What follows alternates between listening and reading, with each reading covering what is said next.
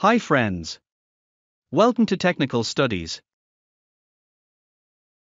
In this video, we will learn how to read and prepare before starting the fabrication of a piping isometric drawing.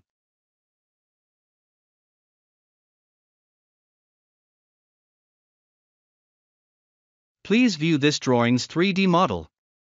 This will make it easier for you to understand the drawing.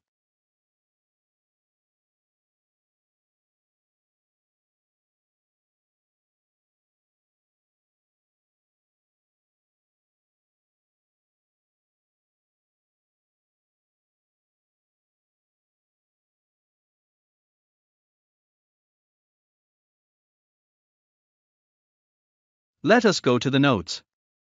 I will read the important notes for you. All dimensions are in millimeter, unless otherwise specified.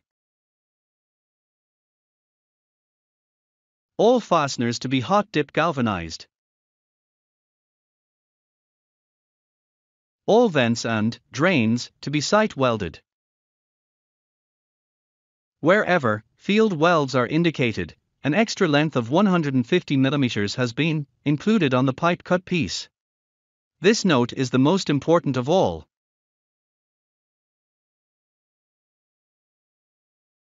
Bill of Materials. Mark number 1. Size 8 inch. Pipe, bevel end, Schedule 20. ASTM A grade B, seamless. The quantity is 36.8 meters. Mark number 2. 8 inch by 8 inch equal T. Bevel end. Schedule 20. Quantity 1 number. Mark number 3. 8 inch 45 degree elbow. Long radius. Bevel end. Schedule 20. Quantity 2 numbers. Mark number 4. 8 inch 90 degree elbow. Long radius. Bevel end. Schedule 20. Quantity 3 numbers. Mark number 5. 8 inch flange. Weld neck. Raise face 150 pound, smooth finish. Schedule 20. Quantity 1 number.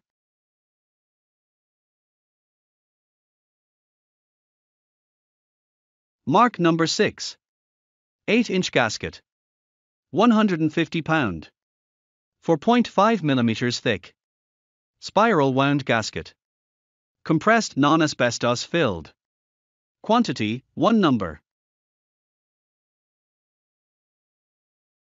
Mark number 7. 3 4 inch stud bolts. Length is 108 millimeters. Nuts and washers 2 each for a set. Quantity, one set of 8 numbers. Mark number 8. Blind flange. Raise face. 150 pound. Smooth finish. Quantity, 1 number. I have given the important descriptions.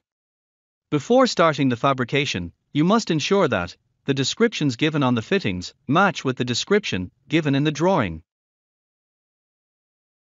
What is FFW? FFW means field fit up weld. This fit up will be done during the erection. This X symbol indicates the field welding.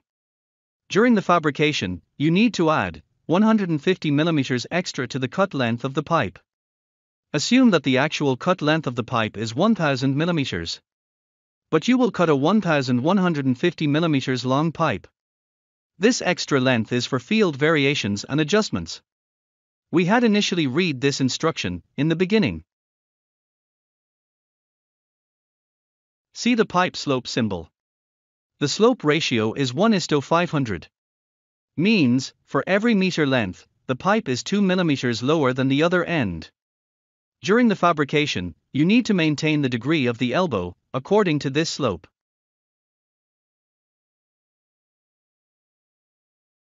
See the locations of the supports. During the fabrication, the pad plates may be welded on the pipe. Here, the distance to the pad plate is given from the end of the pipe. Do not consider the extra length when you fit up the pad plates.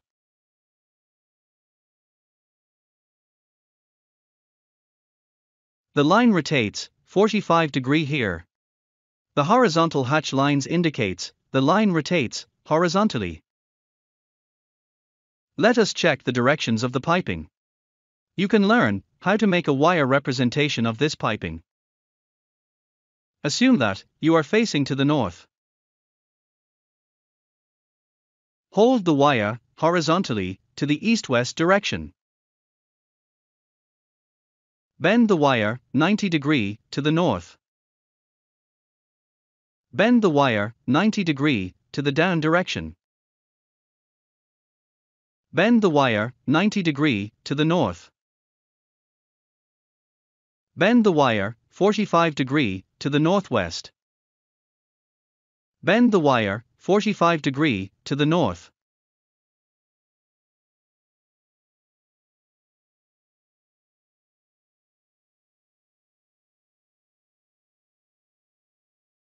Here you can see the T, weld neck flange and then the blind flange.